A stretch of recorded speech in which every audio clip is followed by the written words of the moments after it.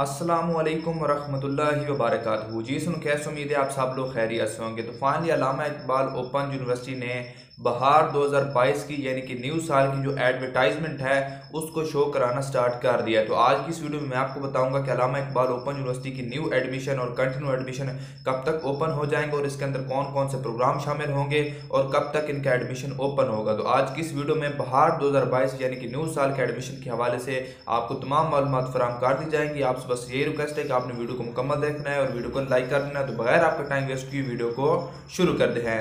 तो सबसे पहले मैं आपको डेट बता देता हूँ 15 जनवरी 2022 से अलामा इकबाल ओपन यूनिवर्सिटी के बाहर 2022 के एडमिशन स्टार्ट हो रहे हैं। ये न्यू साल के पहले एडमिशन है। साल में दो दफ़ा एडमिशन ओपन होता है, एक बाहर का और एक खिजा का। अभी जो एडमिशन ओपन होने हैं, पंद्रह जनवरी से, वो बाहर 2022 के एडमिशन होंगे। अभी इन एडमिशन के अंदर कौन कौन सी क्लासेस शामिल होंगी? सबसे पहले बात कर लेते हैं matric F A I com के हवाले से।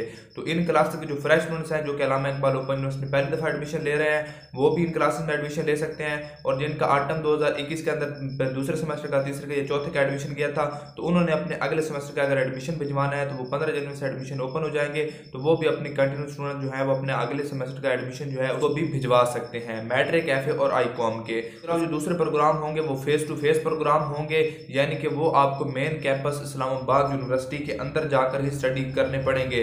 जिसके अंदर सबसे पहले बीएस के प्रोग्राम है, जिसमें बीएस केमिस्ट्री है बीएस माइक्रोबायोलॉजी है बीएस बॉटनी है बीएस फिजिक्स है केमिस्ट्री है, बाकी जो एड है, वो आप अपनी स्क्रीन के ऊपर देख सकते हैं। उसके अलावा एमएससी के कुछ प्रोग्राम शामिल हैं, जिसमें एमएससी के सबसे पहले जो है बॉटनी है, उसके अलावा केमिस्ट्री है स्टेटिक्स है माइक्रोबायोलॉजी है इसी तरह। और जो प्रोग्राम है B S M S C B S C B Ed शामिल हैं फिजिक्स में। तो ये आप अपनी स्क्रीन के ऊपर देख सकते हैं। उसके अलावा पी एच डी के प्रोग्राम शामिल हैं, जिसमें P H D teacher education science education physics statistics chemistry इस तरह काफ़ी ज़्यादा के जो प्रोग्राम है, वो शामिल है। ये मेन कैंपस के अंदर होते हैं। और जो मैट्रिक कैफ़े आई कॉम है वो आप घर में बैठ कर जो है, उसको स्टडी कर सकते हैं। तो जैसे Allama Iqbal open university original advertisement को शो करवाएगी तो इन उसके हवाले से मैं आपको बता दूँगा। हो सकता है इसकी जो लास्ट डेट हो, वो अट्ठाईस फरवरी दो हज़ार बाईस हो। तो जैसे एडमिशन ओपन होंगे फ्रेश स्टूडेंट किस तरह एडमिशन लेंगे, इस टॉपिक पे भी वीडियो आ जाएगी और कंटिन्यू स्टूडेंट किस तरह अपने अगले सेमेस्टर के एडमिशन भेजेंगे, इसकी भी मुकम्मल वीडियो आ जाएगी। तो फ़िलहाल तक न्यूज़ यही है।